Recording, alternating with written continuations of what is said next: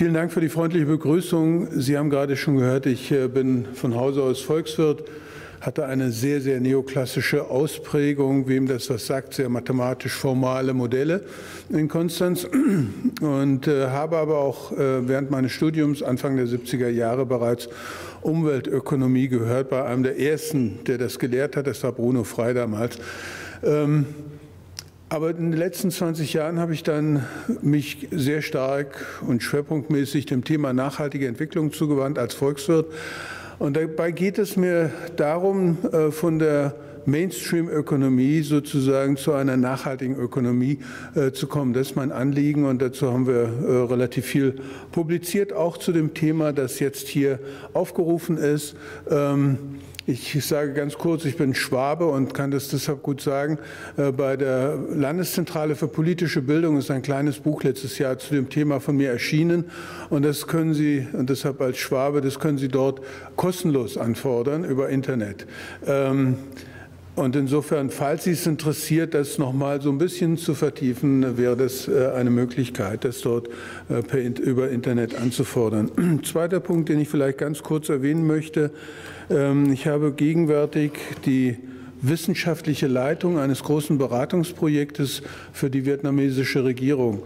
Die Regierung in Vietnam hat äh, eine sogenannte Green Growth Strategy ähm, rausgebracht.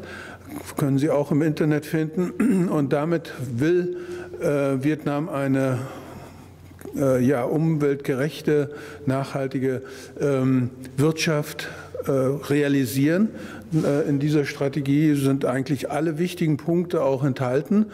Und äh, wie das halt so in so einem Einparteiensystem, sozialistischen System der Fall ist, man gibt das von oben herunter und die Menschen unten wissen nicht so richtig, wie sollen sie es jetzt umsetzen. Deshalb hat man dann eine deutsche Delegation, ähm, also äh, deutsch-vietnamesische äh, Kooperation aufgetan, weil ähm, wir erstaunlich viel Reputation in der Welt haben, was Umwelt äh, und Nachhaltigkeit anbetrifft. Und deshalb ähm, sind wir jetzt sehr dabei, über vier Jahre insgesamt, das erste Jahr ist gerade abgelaufen, eben so etwas wie heute Abend auch zu diskutieren ist, in Vietnam aufzubauen.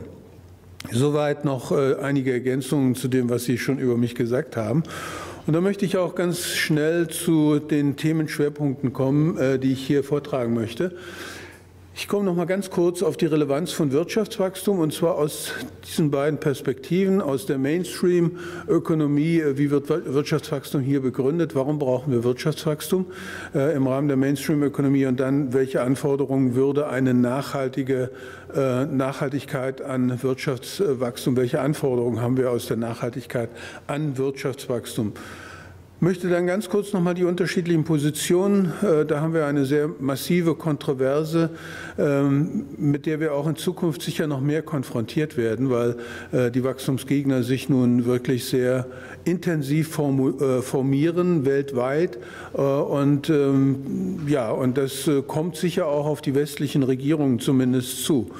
Äh, insofern ist es ganz gut, äh, da nochmal einen Blick drauf zu werfen. Drei Anforderungen an ein äh, nachhaltiges Wachstum. Welches sind die Anforderungen? Und schließlich in den Schlussfolgerungen dann auch nochmal, wie ließe sich das politisch fördern? Ich halte mich da zurück zu sagen, wie lässt sich das realisieren, sondern wie, welche Fördermaßnahmen wären wirtschaftspolitisch notwendig, um hier weiterzukommen.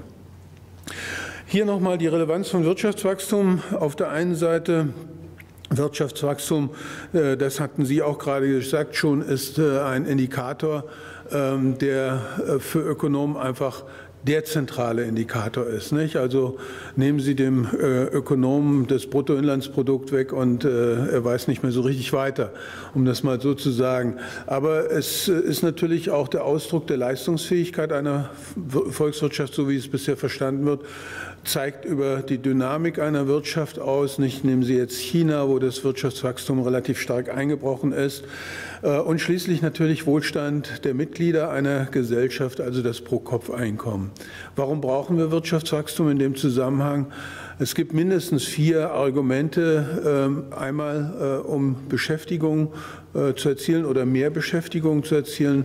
Steigendes Wirtschaftswachstum führt zu mehr Beschäftigung. Zweitens, die Funktionsweise sozialer Sicherungssysteme. Unsere sozialen Sicherungssysteme sind einfach abhängig auch von Wirtschaftswachstum, so wie sie aufgebaut sind.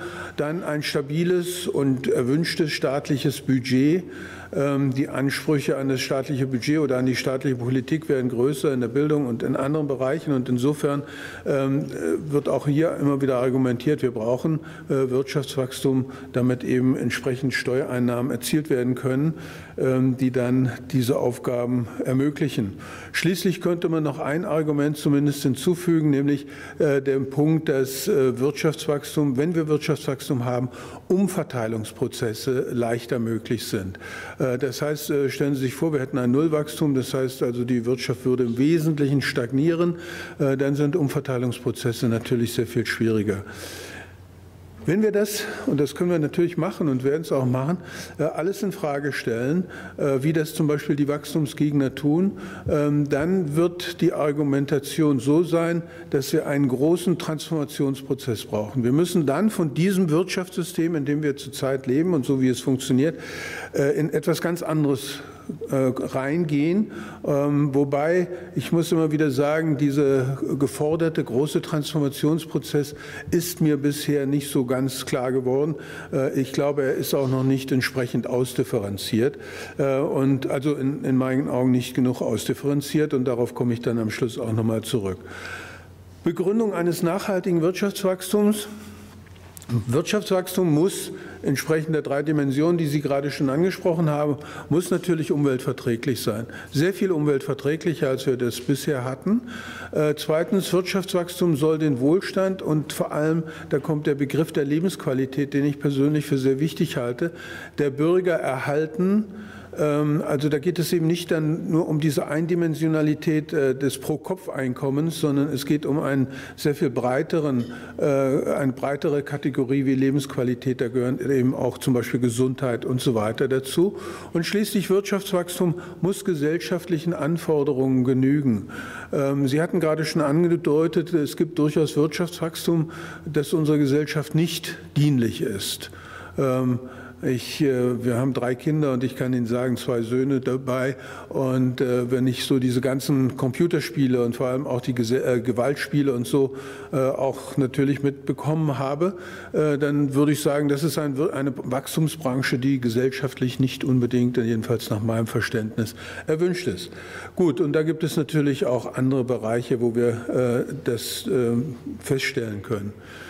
Jetzt komme ich ganz kurz unterschiedliche Positionen zu nachhaltigem Wachstum zu meinem Punkt 2 und da können Sie sehen, es gibt heute eigentlich vier grundlegende Positionen, wo man sich eigentlich irgendwo einordnen sollte. Die neoklassische Position ähm, wir brauchen, und dann äh, gibt es da auch die endogene Wachstumstheorie, das möchte ich jetzt gar nicht mehr groß aufschlüsseln, sondern möchte nur feststellen, Neoklassische Position ist, und so habe ich es äh, sehr intensiv auch in meinem Studium mitbekommen, äh, darauf ausgerichtet, dass wir mehr Wachstum brauchen. Die ganze Wachstumstheorie ist darauf ausgerichtet zu begründen, wie können wir zu mehr Wachstum kommen.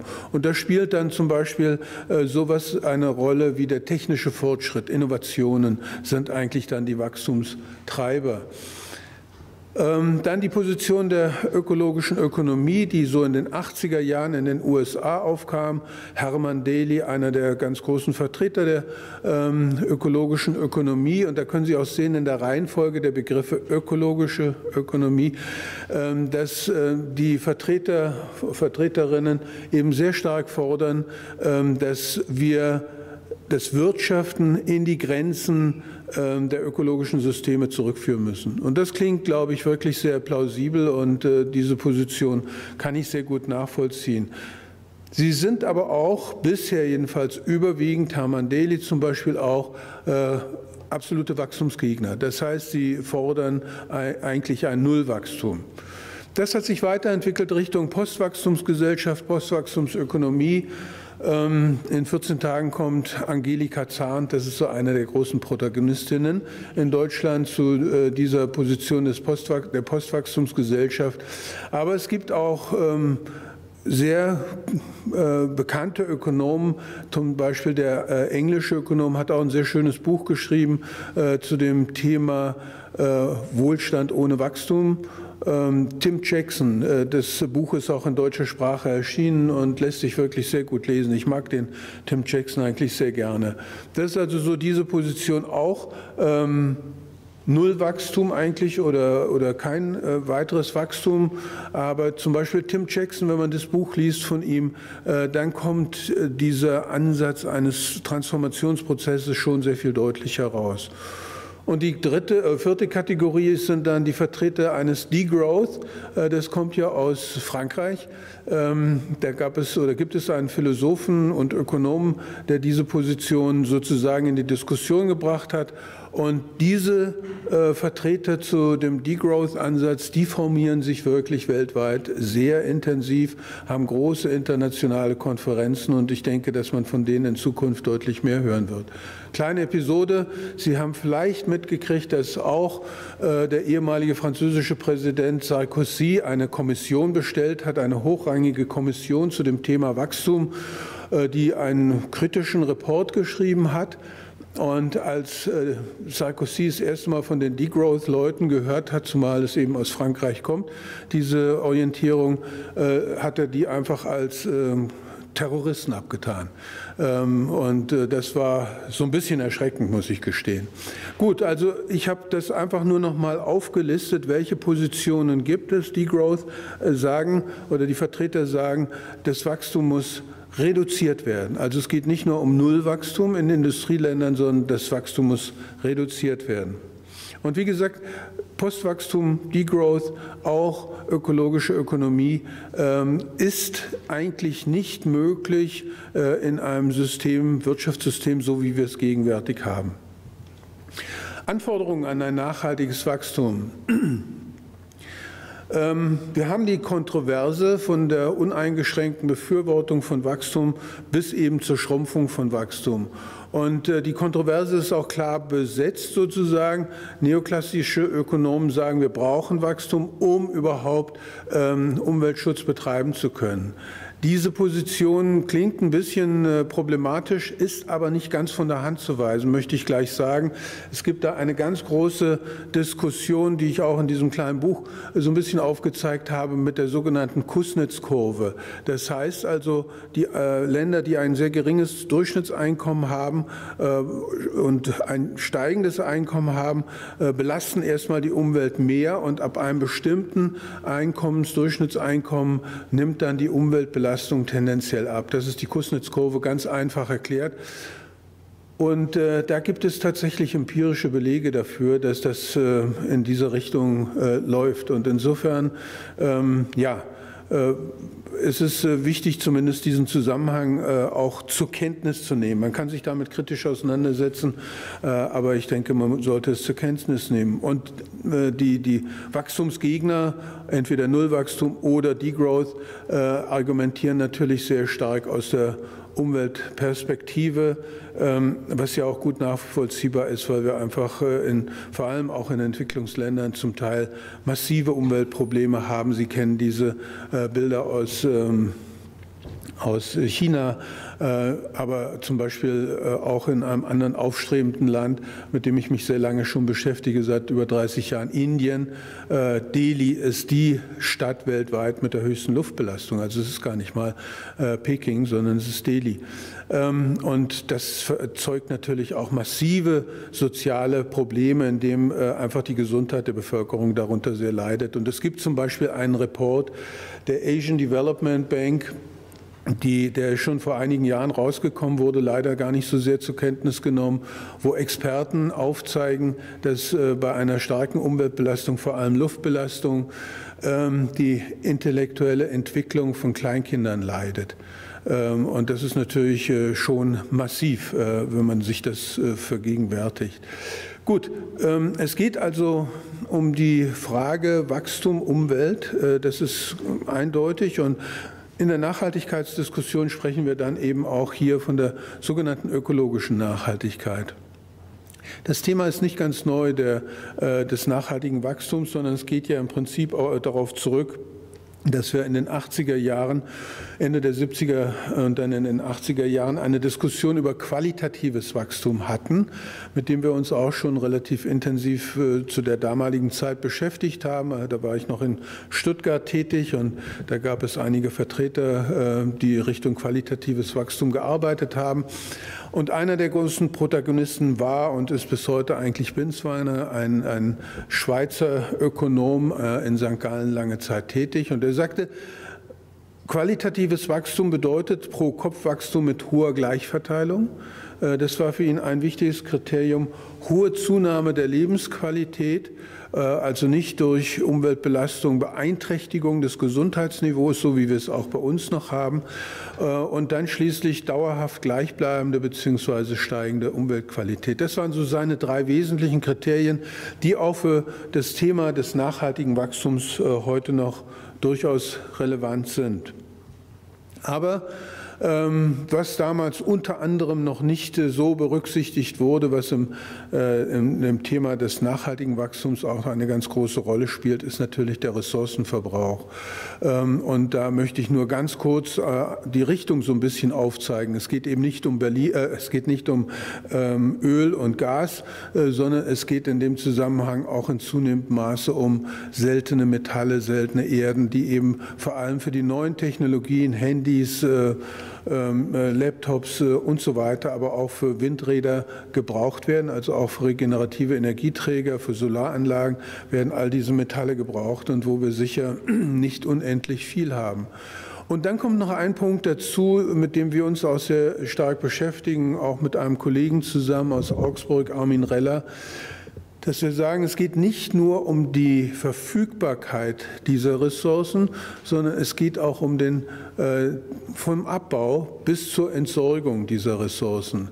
Also Abbau, wenn Sie sich damit beschäftigen, wie Ressourcen, seltene Metalle, seltene Erden gerade zum Beispiel im Kongo abgebaut werden. Gehen Sie mal ins Internet, da wird es Ihnen wirklich ganz schlecht, äh, wie da Kinder äh, missbraucht werden, in kleine äh, Röhren da reingesteckt werden, wo sie das dann rausholen müssen und so weiter. Aber nicht nur im Kongo, sondern eben auch in vielen anderen Ländern. Das heißt, das beschäftigt uns, äh, dass äh, der Ressourcenverbrauch auf der einen Seite, aber auch die Ressourcengewinnung, der Abbau und dann schließlich natürlich auch die Entsorgung über Recyclingmethoden und so weiter weiter. Um das nur mal auch an einem Beispiel ganz kurz deutlich zu machen, Armin Reller hat mit seinen äh, Mitarbeitern mal ausgerechnet, vor einigen Jahren, äh, da wurden, äh, weiß nicht mehr genau, wie viele Millionen Handys entsorgt. Und Sie wissen, dass Handys nach wie vor noch nicht entsprechend recycelt werden können, sondern von den zehn Metallen, die da drin sind, höchstens zwei äh, zurückgewonnen werden können. Und dabei bei der Entsorgung von Handys ist äh, ich glaube, insgesamt 16 Tonnen Gold verloren gegangen. Nicht einfach nur mal, um das an einem Beispiel deutlich zu machen, ähm, wo wir stehen. Und äh, das ist ja in anderen Ländern noch viel weniger äh, verbreitet mit Recycling äh, von äh, all diesen Dingen. Anforderungen an ein äh, Wachstum ökologischer Nachhaltigkeit wir dürfen die Tragekapazität der ökologischen Systeme nicht überschreiten. Das war auch eine wichtige Forderung von Hermann Delisch schon vor 20 Jahren. Und wir sind ständig dabei. Nicht? Also äh, CO2-Emissionen kriegen wir einfach bisher noch nicht in den Griff. Und Sie kennen sicher die Zahlen. Ähm, auch bei, äh, der, bei den Klimaverhandlungen jetzt in Paris wurde das ja nochmal gesagt, dass wir spätestens bis 2050 eben äh, weltweit auf zwei Tonnen pro Kopf äh, pro Jahr runterkommen müssen. Und in, den USA haben wir 20 Tonnen pro Kopf eher steigend äh, statt sinkend. Äh, in, den, äh, in China haben wir auch einen deutlichen Anstieg von CO2-Emissionen pro Kopf. Das heißt, das Thema ist einfach da präsent und da haben wir noch sehr viel vor uns, um das einigermaßen hinzukriegen, um äh, diese magischen zwei Grad ähm, im Durchschnitt äh, Temperaturerhöhung äh, auch einhalten zu können. Grenzen ökologischer Systeme müssen beachtet werden. Nehmen Sie die äh, Wälder weltweit, ähm, wo wir auch ähm, die Grenzen dieses ökologischen Systems eben nicht in ausreichendem Maße beachten, sondern da wird eben nach wie vor auch, werden große Waldflächen abgeholzt. Aber auch ein, ein ganz großes Thema sind natürlich die Meere, wo wir eben sagen können, die ökologischen Systeme werden in dem Maße gebraucht, ich sage es mal ganz vorsichtig, man könnte auch sicher sagen, missbraucht, ähm, dass äh, wir darunter selbst eben auch zu leiden haben. Nicht? Sie wissen, was heute in den Fischen zum Teil schon äh, an Plastikteilchen und so weiter drin ist. Und dann eben auch die Berücksichtigung der Ressourcenknappheit und, man könnte hier noch hinzufügen, auch äh, der Abbau von Ressourcen. Äh, das sind Anforderungen, würde ich mal sagen, an äh, die ökologische Nachhaltigkeit. Das könnte man sicher noch weiter ausdehnen, aber ich glaube, mit den drei Unterpunkten wird, das, wird die Richtung klar. Jetzt kommen wir an einen Punkt, der bisher relativ stark vernachlässigt wurde. Ähm, und dem ich jetzt auch ein bisschen mehr Gewicht geben möchte. Nämlich äh, bisher wurde Wachstum eindeutig mit ökologischer Nachhaltigkeit äh, in Verbindung gebracht, mit den ökologischen Systemen und so weiter. Aber Wachstum und soziale Nachhaltigkeit hat bisher eigentlich, äh, finden Sie in der Literatur, viel zu wenig, denke ich mal. Dabei gibt es eine Reihe von interessanten Untersuchungen, auf die ich jetzt auch so ein bisschen zu sprechen kommen möchte. Stärkung, wir haben den Begriff jetzt auch, oder der wurde eingeführt, äh, des sozialen Wachstums, also nicht eben äh, des rein ökonomischen Wachstums, sondern des sozialen Wachstums. Dazu gehört eben Bildung, Gesundheit, Pflege, erneuerbare Energien und so weiter. Und an diesem Punkt sehen Sie, glaube ich, schon, äh, in welche Richtung auch meine Intention geht, dass ich eben nicht sage, Wachstum ist per se schlecht oder wir brauchen äh, ein Nullwachstum per se, sondern es gibt sehr wohl Wachstumsbereiche, die sind gesellschaftlich, aber auch also gesellschaftlich erwünscht und ökologisch relativ unproblematisch. Das sollten wir, glaube ich, äh, einfach äh, in Erinnerung behalten. Ähm, der zweite Punkt ist Erhöhung des Gemeinwohls der Gesellschaft. Und da finde ich äh, sehr hilfreich den sogenannten Capability-Ansatz von Amartya Sen. Amartya Sen ist ein von Hause aus indischer Ökonom, der aber schon sehr lange jetzt an der London School of Economics lehrt und dort auch forscht und der diesen Ansatz schon in den 80er Jahren entwickelt hat. Was steckt dahinter, hinter diesem Capability-Ansatz?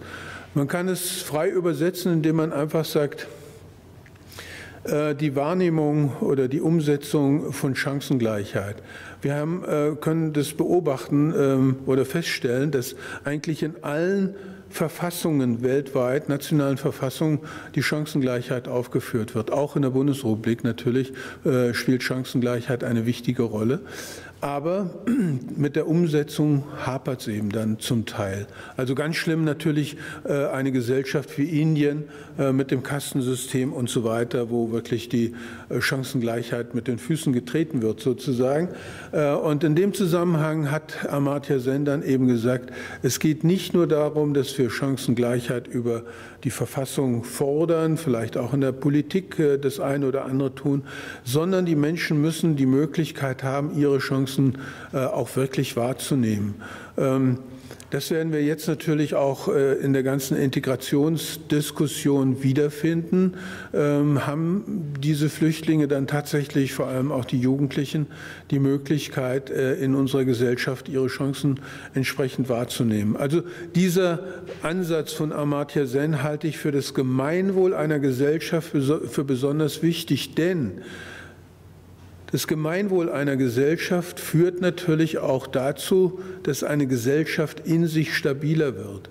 Ähm, wenn Sie sich mal anschauen, zum Beispiel die amerikanische Gesellschaft, wo ähm, die Wahrnehmung von Chancengleichheit auch sicher zum Teil noch sehr lückenhaft ist, um es mal so zu sagen, haben wir eine enorm hohe äh, Kriminalität und es gibt kaum ein anderes Land, wo so viele Gefangene, also jetzt mal abgesehen von politischen Gefangenen in, in irgendwelchen anderen Ländern, aber äh, wo wir so viele Gefangene haben und ständig neue Gefängnisse gebaut werden müssen. Das hat etwas zu tun, wenn man sich mit den äh, Publikationen hierzu beschäftigt, hat etwas zu tun, dass diese Gesellschaft eben ähm, nicht sehr kohärent ist und eben kein sehr starkes Zusammengehörigkeitsgefühl hat.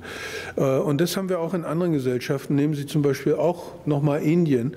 Sie wissen, dass in Indien durch den Hinduismus das Kastensystem ganz gut funktioniert hat, weil es immer hieß, wenn du in diesem Leben eben einer unteren Kaste angehörst, dann wirst du im nächsten Leben ähm, ein besseres Leben haben.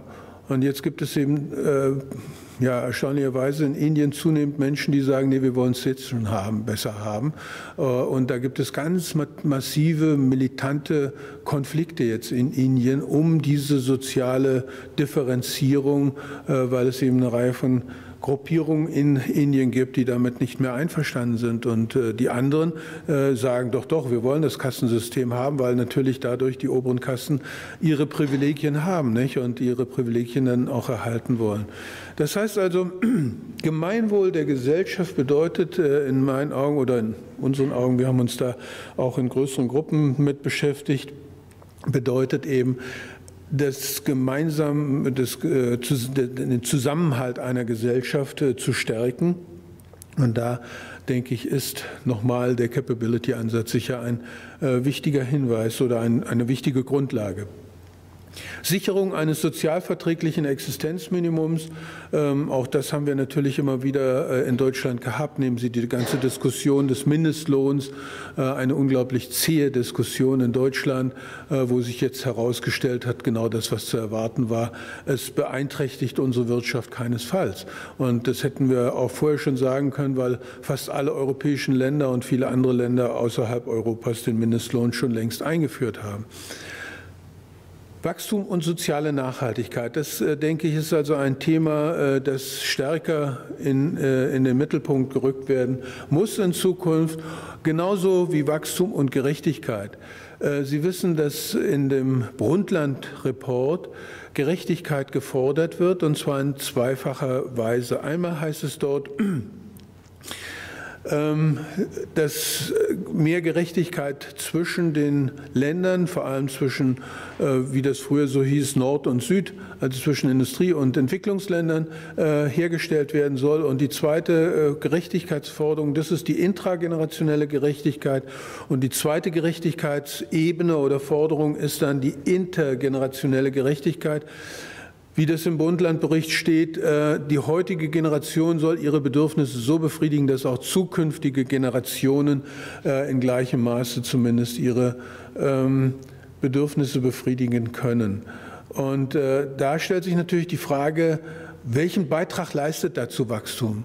Oder wie, wie wird Wachstum verteilt?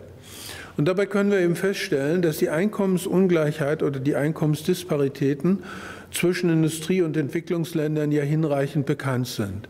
Ähm, aber ich denke, dass eigentlich äh, das größere Problem die Einkommensdisparitäten in den einzelnen Ländern ist. Nicht? Nehmen Sie mal folgende Situation, nochmal Indien, wo wir die Situation haben, dass es kein anderes Land zurzeit weltweit gibt, wo so viele Millionäre und Milliardäre entstehen wie in den letzten zehn Jahren. Auf der einen Seite, auf der anderen Seite haben wir in Indien nach wie vor die Situation, dass wir mit die höchste Armutsquote haben. Das heißt, es ist ein Verteilungsproblem. Das ist der eine Punkt. Und der zweite Punkt, der sicher genauso schlimm ist, den hatten wir auch in Deutschland oder haben ihn immer noch, dass eben sehr viel Finanzkapital auch aus Indien in die Steueroasen gebracht wird. Das sind Milliarden und Billionen Beträge. Also seit Existenz äh, von Indien wird geschätzt, dass das in die Billionen geht. Stellen Sie sich vor, das Geld wäre in Indien geblieben, dann bräuchte Indien überhaupt keine Entwicklungszusammenarbeit mehr. Nicht? Also das sind einfach Themen, äh, die äh, auch verstärkt diskutiert werden müssen. Und was die Bundesrepublik Deutschland anbetrifft, so können Sie in, der, in den OECD-Berichten, und das sind ja nun wirklich keine äh, linken Berichte oder sonst was, sondern OECD ist die Dachorganisation der Industrieländer. Und in den OECD-Berichten so in den letzten Jahren, die haben mehrfach äh, Berichte herausgebracht zur äh, Verteilung von Einkommen, wird immer wieder gefordert, dass wir hier eine ähm, Umverteilung brauchen, aus verschiedenen Gründen. Und vor allem die Bundesrepublik Deutschland wird hier gefordert, explizit wörtlich, in den Berichten steht das drin, äh, weil die Bundesrepublik Deutschland unter den Industrieländern das Land mit den stärksten Einkommensdisparitäten ist. Ähm, das muss man einfach dann auch so zur Kenntnis nehmen und ähm, kann sich da wirklich drauf berufen. Und OECD, und jetzt kommen wir zu dem interessanten Punkt, hat dann eben auch in den Publikationen immer wieder darauf hingewiesen, dass Wachstum eben auch zu mehr Ungleichheit führt. Und das war zum Beispiel, möchte ich auch ganz kurz aufgreifen, eine meiner Kritiken an dem geplanten TTIP, äh, wo ja von der politischen Seite, von der Regierung gesagt wird, wir wollen dieses äh, TTIP haben, weil dadurch mehr Wachstum entsteht. Erstens gucken Sie mal hin, wie viel mehr Wachstum da wirklich entsteht. Und zweitens glaube ich wirklich, und da gibt es auch Publikationen dazu, glaube ich wirklich, dass ähm, dieses Wachstum, das durch TTIP äh, entsteht, die Einkommensdisparitäten eher vergrößert als verkleinert. Ähm, wie gesagt, auch äh, alles nachzulesen in ähm, in äh, den OECD-Berichten, also das ist jetzt nicht das, was ich mir hier ausdenke, sondern ich basiere natürlich auf äh, vielerlei Berichten. Auf einen möchte ich noch mal ganz kurz kommen, auf Thomas Piketty. Vielleicht haben Sie von dem gehört, das ist ein Franzose, der ein ganz dickes Buch herausgebracht hat mit dem Titel Das Kapital im 21. Jahrhundert. Und damit hat er unheimlich Furore gemacht. Das wurde ja auch in allen Zeitungen dann rezensiert und so weiter.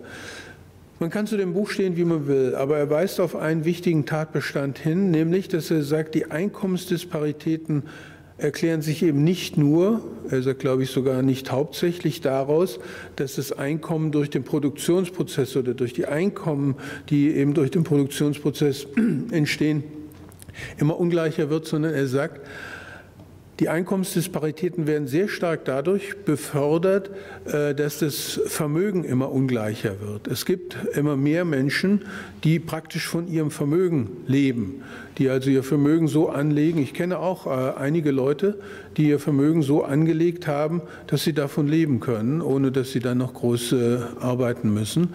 Und äh, er sagt, das ist eine fatale Situation, weil wir da doch äh, erstens äh, eine wachsende Einkommensdisparität haben und zweitens, sagte Piketty sehr schön auch, wir haben dadurch natürlich auch eine Generation von Menschen, die ja einfach im Arbeitsprozess gar keine Rolle mehr spielen. Nicht? Und das sieht er als, als Gefahr auch für unsere Gesellschaft.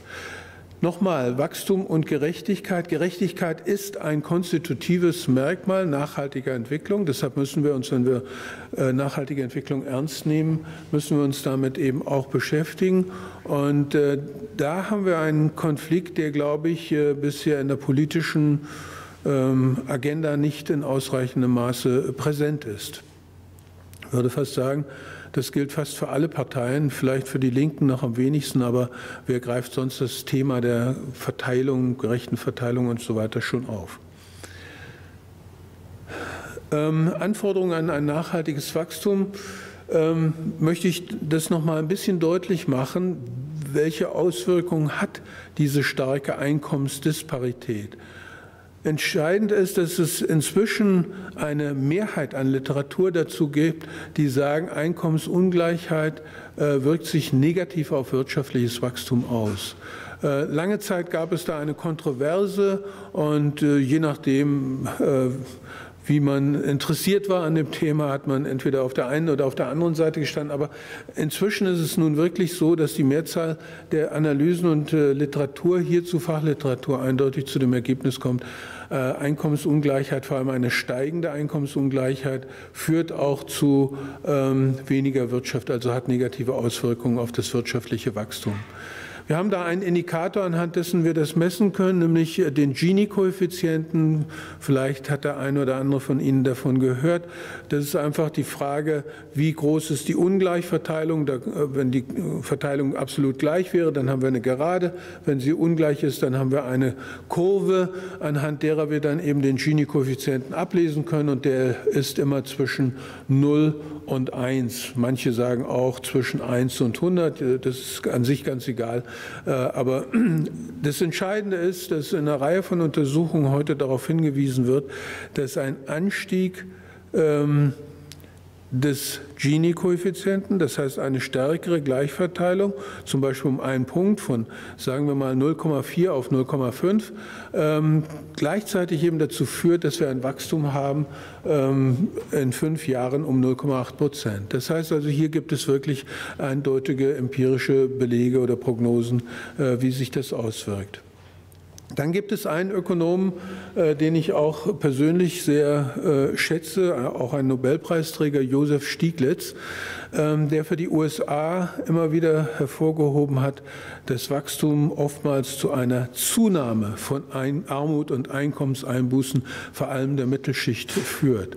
Äh, Josef Stieglitz hat es auch mehrfach publiziert, dass er gesagt hat, äh, wir haben an sich in den USA relativ viel Wachstum, aber wir haben eine äh, erodierende Mittelschicht. Das heißt, die Mittelschicht sackt auch einkommensmäßig immer weiter ab und die Armut nimmt tendenziell in den USA trotz Wachstum zu. Und das ist natürlich dann auch zu erklären mit einer bestimmten Verteilung von Wachstum. In dem Zusammenhang komme ich natürlich als äh, jemand, der sehr stark das Paradigma der nachhaltigen Entwicklung vertritt, an einen kritischen Punkt. Man könnte natürlich aus der Perspektive der nachhaltigen Entwicklung sagen, soll das Einkommen immer ungleicher verteilt werden, dann haben wir eben weniger Wachstum. Und dann haben wir natürlich auch schon mal etwas erreicht, äh, was äh, der nachhaltigen Entwicklung durchaus zugute käme. Aber ich komme jetzt gleich eben noch auch äh, darauf zurück, wie wir zu einem ähm, nachhaltigen Wachstum kommen können. Also zusammengefasst zunächst erst nochmal, wir haben extrem unterschiedliche Positionen zu äh, dem Thema Wachstum, auch zu einem nachhaltigen Wachstum. Also zum Beispiel die Neoklassiker sagen, Dadurch, dass wir ja Umweltschutz wollen äh, und äh, Umweltschutz auch im Sinne von ökologischer Nachhaltigkeit ist, brauchen wir mehr Wachstum. Insofern äh, positionieren die sich durchaus auch zum Teil an dieser Kategorie äh, nachhaltiges Wachstum. Die Wachstumsbefürworter, Wachstum ermöglicht erst Umweltschutz, hatte ich gerade gesagt, und genau die Gegenposition Wachstumsgegner, Wachstum zerstört ökologische Systeme und erzeugt Abhängigkeiten. Diesen letzten Begriff der Abhängigkeiten der vertritt eben auch in sehr starkem Maße zum Beispiel Angelika Zahn als Postwachstums, äh, äh, also Postwachstumsgesellschaft Vertreterin, äh, die sagt, wir sind einfach zu abhängig von Wachstum und auch hinsichtlich unseres Konsums. Der Konsum ja, wird immer größer und äh, macht uns nicht unbedingt zufriedener. Äh, auch dazu gibt es äh, viele und interessante Diskussionen. Ist übrigens auch in dem Buch von Tim Jackson äh, sehr schön beschrieben, finde ich, indem er sagt, ähm, da gibt es empirische Untersuchungen, die sagen, ähm, wenn wir ein Wachstum alle hätten, so ungefähr wie das Durchschnittseinkommen in südeuropäischen Ländern, könnten wir unsere ganzen Bedürfnisse sehr schön befriedigen und wären zufrieden. Was darüber hinausgeht an, Wachs, äh, an Einkommen, äh, und da gehören ja viele von uns auch dazu, die ein höheres äh, Einkommen haben, dient uns primär eigentlich zu Statusaspekten. Das heißt also, ähm, wir verwenden dann eigentlich nicht mehr äh, unser wachsendes Einkommen zur äh, Bedürfnisbefriedigung, sondern wir, ja, manche kaufen sich dann ein größeres Auto, manche kaufen sich vielleicht noch schönere Kleidung und so weiter, dient also sehr stark zur Befriedigung oder zur Aufrechterhaltung von bestimmten Statussymbolen. Ähm, also Wachstumsgegner, Wachstum zerstört ökologische Systeme und erzeugt äh, Abhängigkeiten. Die für mich unberücksichtigte Frage ist in dem Zusammenhang, was wächst eigentlich? Und ich glaube, das haben Sie hier auch in der Reihe schon so ein bisschen äh, diskutiert. Was wächst eigentlich? Welche Umweltauswirkungen ergeben sich daraus und was soll wachsen? Ich möchte das ganz kurz aufgreifen, weil wir dazu eine Untersuchung gemacht haben für die Bundesrepublik Deutschland. Wir haben uns 45 Branchen angeschaut und haben mal gefragt, welche wachsen denn überhaupt? Und dabei können Sie feststellen, es gibt viele Branchen, die stagnieren oder sind auch rückläufig. Nicht? Also es ist ja nicht so, dass die Volks-, eine Volkswirtschaft insgesamt wächst. Das ist immer der mit dem Bruttoinlandsprodukt der große, das große Missverständnis, äh, dass äh, man immer das Gefühl hat, unsere Wirtschaft wächst. Nicht? Das sagen auch viele Politiker, obwohl es äh, eigentlich falsch ist. Insofern ist die Frage A, was wächst? Und dann gucken wir mal genauer hin, wie stark sind die Umweltbeeinträchtigungen dieser Sektoren. Und ich kann Ihnen äh, einfach mal das deutlich machen an drei Sektoren. Erstens, ähm, was äh, wächst und, und was wächst stark in der Bundesrepublik und was ist äh, stark umweltbelastend, CO2 als Indikator. Energiesektor, ganz stark nach wie vor umweltbelastend. Solange wir nicht mehr regenerative Energie haben, wird sich daran auch nichts ändern. Und das Zweite ist natürlich die Mobilität. Ja, äh, der Verkehr ist äh, extrem umweltbelastend. Und äh, wenn wir das wissen, was wächst und wie umweltbelastend sind denn diese einzelnen Sektoren, dann können wir uns natürlich auch fragen oder sollten uns fragen, wie können wir das eigentlich in den Griff kriegen? Und Sie haben vielleicht den, ich nenne das Schwabenstreich gehört aus Stuttgart. Ähm, wir haben eine sehr hohe Feinstaubbelastung, CO2-Belastung. Was hat man gemacht in Stuttgart? Man hat gesagt, äh, wir äh, äh, versuchen das an die an den Verstand der Bevölkerung heranzubringen. Wir stellen Tafeln auf, wo drauf steht, zu hohe Feinstaubbelastung und so weiter. Lassen Sie Ihr Auto stehen. Montag zum ersten Mal in dieser Woche passiert. Es war offensichtlich kein großer Erfolg. Nicht? Es war eine freiwillige Aktion und äh, insofern ist das natürlich so eine Frage, soll es in die Richtung wirklich gehen? Äh, aber trotzdem bleiben wir bei der Frage, ähm, was soll eigentlich wachsen? Es ist ja nicht alles schlecht, was wächst. Nicht? Äh, zum Beispiel der Bildungsbereich, der Gesundheitsbereich. Ein Bereich, der ganz stark wachsen wird, auch in den nächsten Jahren, ist natürlich die Altenbetreuung und so weiter. Wenn Sie sich alleine mal vergegenwärtigen, dass die äh, Wohlfahrtsverbände in Deutschland deutlich mehr, und zwar viel mehr Beschäftigte haben als meinetwegen ein Großunternehmen wie Daimler, äh, dann wird daran deutlich, äh, dass es eben sehr wohl auch Wachstumsbereiche gibt, gerade in unserem Wohlfahrtssektor, wo ich sagen würde, das ist doch gesellschaftlich erwünscht und umweltpolitisch auch relativ unbedenklich. Nicht? Also ähm, insofern denke ich, ist es ganz wichtig, dass wir hier unsere Wirtschaft einfach auseinandernehmen. Übrigens auch in dem Gutachten von Stieglitz, also von dem Beauftragten von Sarkozy, Stieglitz, Sen und, und Fitoussi haben dieses Gutachten dann gemacht mit einem großen Expertenstab zusammen. Die sagen auch, wir müssen uns viel mehr beschäftigen mit dem Bruttoinlandsprodukt. Was passiert da eigentlich und welche Strukturveränderungen ergeben sich auch? Und dann muss man eben, wenn der Verkehr so umweltbelastend ist, dann muss man eben auch sagen, was ist zu tun, dass wir schneller zu alternativen Antriebsaggregaten kommen, schneller zu ähm, äh, Elektromobilität meinetwegen oder welche Bereiche auch immer. Ähm, insofern äh, mache ich Ihnen hiermit schon mal äh, deutlich die Richtung, in welche äh, Richtung das politisch, äh, wirtschaftspolitisch zu gehen hat. Ähm, Oh ja, jetzt geht es nicht mehr weiter. Dann gucke guck ich mal auf mein.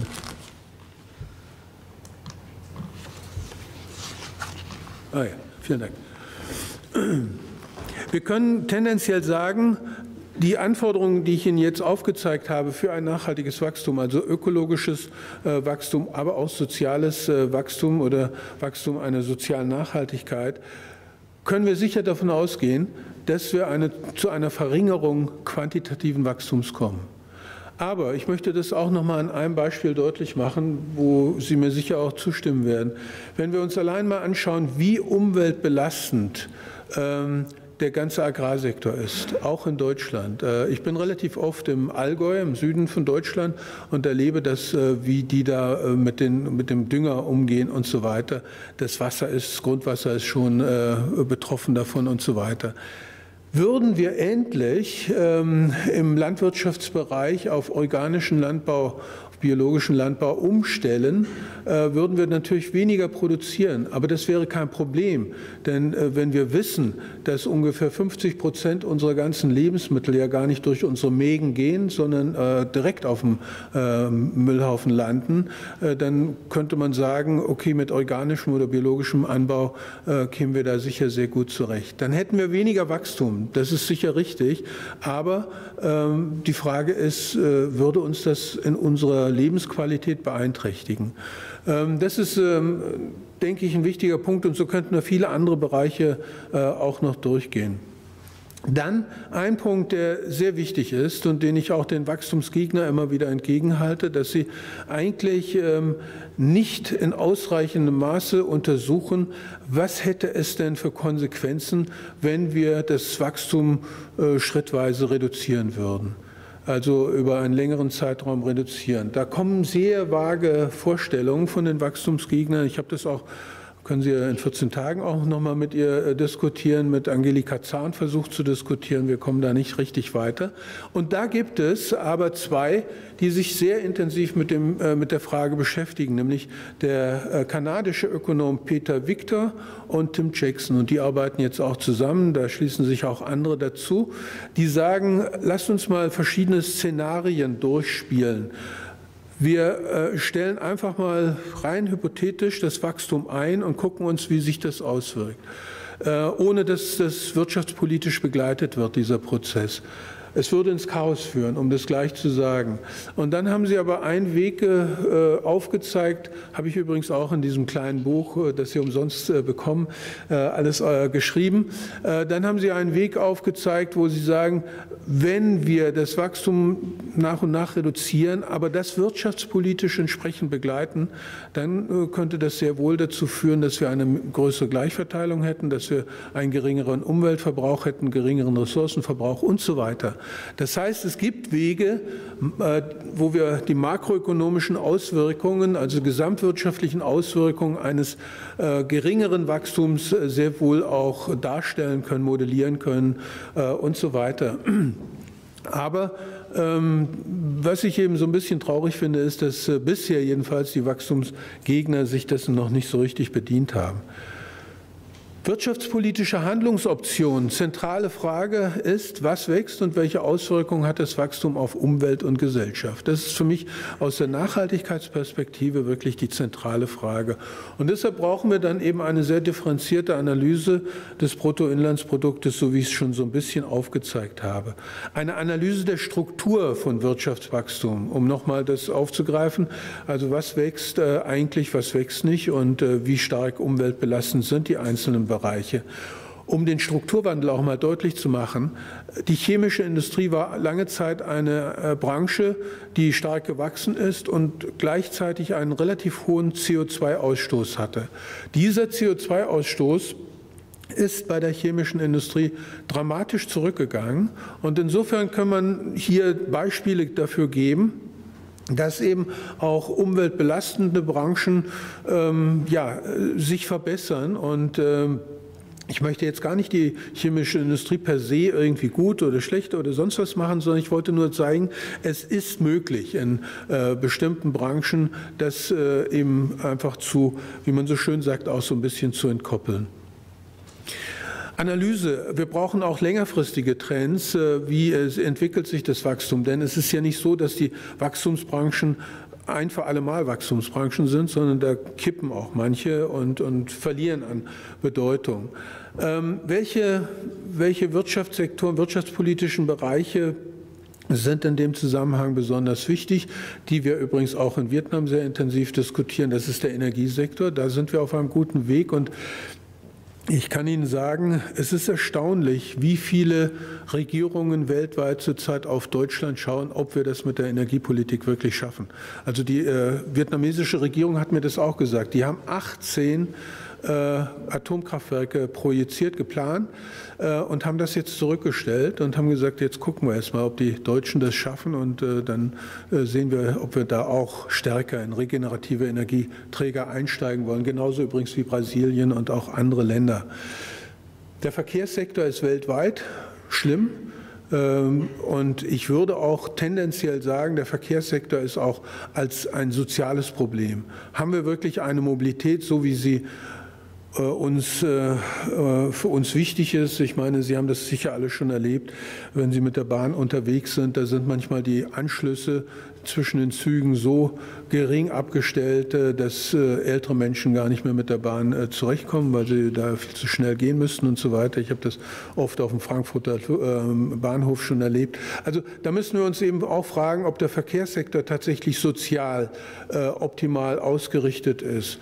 Wo wir natürlich ähm, in einer sehr guten Situation, das hatte ich schon angedeutet, äh, sind, äh, sind die sozialen Dienstleistungen.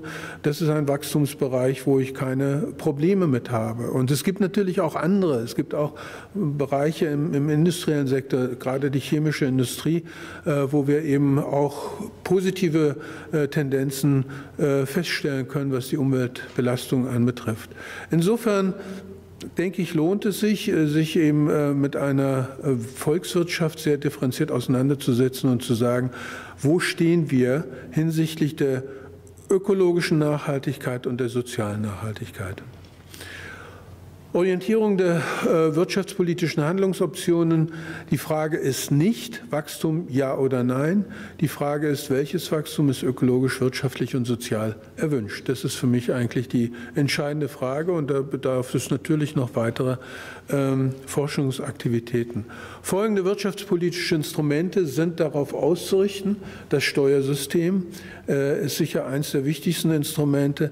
Dann aber auch Subventionen. Es, stellen Sie sich vor, es gibt eine Untersuchung, vielleicht kennen Sie die auch, vom Umweltbundesamt, also eine staatliche Institution, die vor einiger Zeit einen Bericht herausgebracht hat, dass 50 Prozent unserer Subventionen umweltschädlich sind. 50 Prozent. Äh, haben wir natürlich auch gleich den, äh, den Vietnamesen gesagt und haben gesagt, äh, guckt euch mal eure Subventionspolitik darauf an, wie stark die ähm, Umweltaspekte tatsächlich schon berücksichtigen.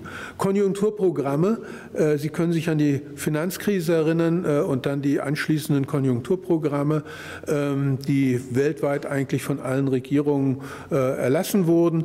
Und da hat man festgestellt, Tim Jackson auch, hat festgestellt, hat das mal verglichen und hat festgestellt, dass Südkorea 80 Prozent dieses Konjunkturprogramms auf umweltfreundliche Maßnahmen ausgerichtet hat. Deutschland 15 Prozent. Ähm, dann natürlich auch die ganze Forschung und Entwicklung muss sehr viel stärker auf Nachhaltigkeit ausgerichtet werden. Da sind wir auf einem ganz guten Wege, aber da kann sicher auch noch mehr getan werden. Es gibt sicher weitere Punkte, deshalb habe ich das hier offen gelassen, ähm, wo äh, wirtschaftspolitische Instrumente nachhaltige Entwicklung und ein nachhaltiges Wachstum stärker fördern können. Aber ähm, das können wir auch dann gerne noch diskutieren. Ja, meine Damen und Herren, ich sollte bis ungefähr 19 Uhr ähm, referieren. Sie sehen, ich habe mich dran gehalten. Ähm, danke Ihnen sehr für Ihr Interesse und wenn Sie noch Fragen haben, können wir die gerne jetzt dann diskutieren. Vielen Dank.